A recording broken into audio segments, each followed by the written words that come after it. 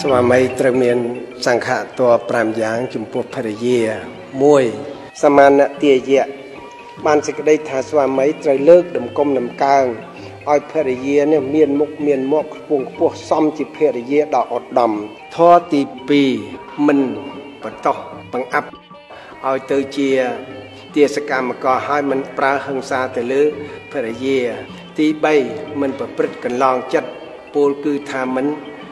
ក្បត់ចិត្តភរិយាធម៌ទី4ត្រូវប្រគល់សិទ្ធិសេរីភាព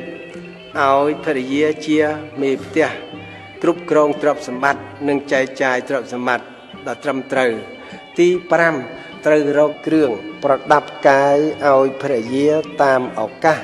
ដើម្បីបានតតែងកាយឲ្យសមជាភរិយាល្អថ្លៃថ្នូររុងរឿងទៅបានយា